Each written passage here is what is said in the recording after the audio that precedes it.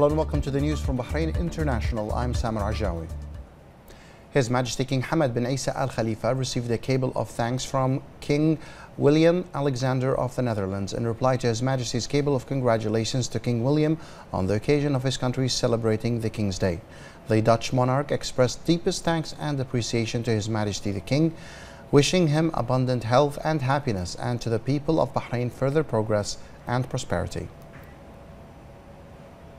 His Majesty King Hamad bin Isa Al Khalifa received a cable of thanks from Kazakh President Kassym Jomart Tokayev in reply to His Majesty's cable of congratulations on winning the presidential elections in Kazakhstan.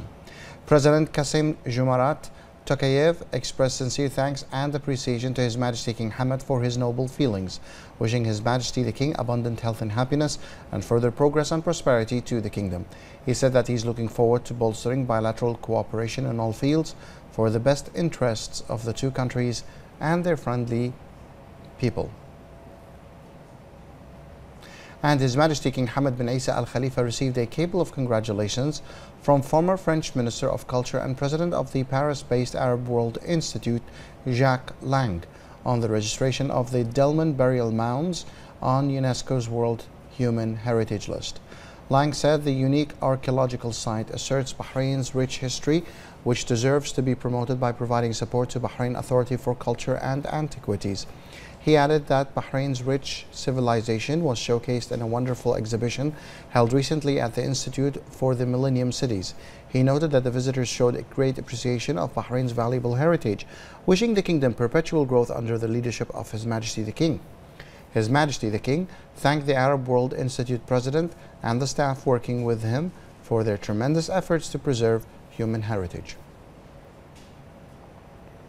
The first Deputy President of the Supreme Council for Youth and Sports, President of the Bahrain Athletics Association and President of the Bahrain Olympic Committee, His Highness Sheikh Khalid bin Hamad Al Khalifa expressed greetings and congratulations to His Majesty King Hamad bin Isa Al Khalifa, His Royal Highness the Prime Minister Prince Khalifa bin Salman Al Khalifa, His Royal Highness the Crown Prince, Deputy Supreme Commander and First Deputy Prime Minister Prince Salman bin Hamad Al Khalifa, and His Majesty the King's representative for Charity Work and Youth Affairs and Chairman of the Supreme Council for Youth and Sports, His Highness Sheikh Nasser bin Hamad Al Khalifa, over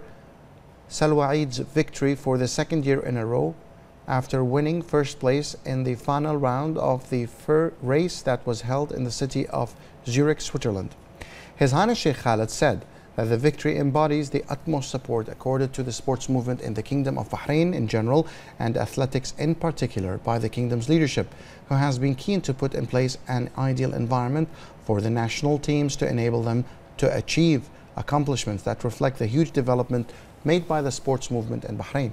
He added that this accomplishment is the result of the backing of His Highness Sheikh Nasser and His Highness's keenness to extend all the required support to the national teams to ensure they are ready to compete against anybody in the, any arena. Stating that the launch of the Golden Era following the Year of Gold in 2018 represents a motivational factor for the Bahrainis to secure further positive results. His Highness Sheikh Khalid expressed his pride in Eid's win which adds to the series of accomplishments achieved in the Golden Era, noting that this victory confirms the successful strategy being implemented by the Bahrain Athletics Association. Salwa Eid was crowned back-to-back champion of the women's 400 meters in the prestigious IAAF Diamond League. Salwa defended her crown after winning her race in the Weltklasse Zurich Athletics meeting in Switzerland. It was her fifth triumph of the year in the Diamond League series, and it came in the penultimate round of the highly regarded International Association of Athletics Federations competition. Salwa had also previously won her 400 meter races in the Diamond League meets in Shanghai, Rome, Rabat, and Lausanne. This was Bahrain's third overall win in the Diamond League, with Ruth Jebet opening the kingdom's account in this competition after winning the women's 3,000 meter steeplechase in 2016, followed by Eid's back-to-back victories in the women's 400 meters.